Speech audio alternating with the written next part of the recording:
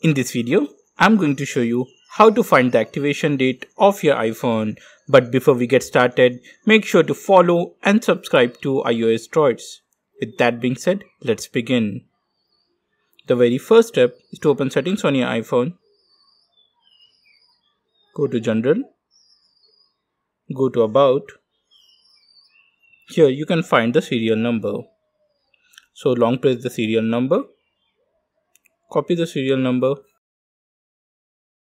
Now click the first link given in the description of the video. It will take you to this page. Now on this page scroll down.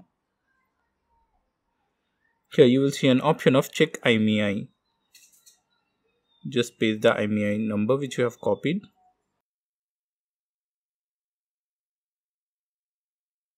Tap on check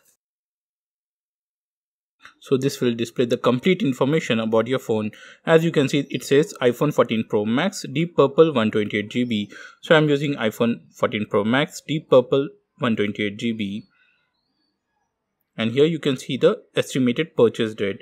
So this estimated purchase date is 30th november 2022 this purchase date is nothing but the activation date. So this is how you check the activation date of your iphone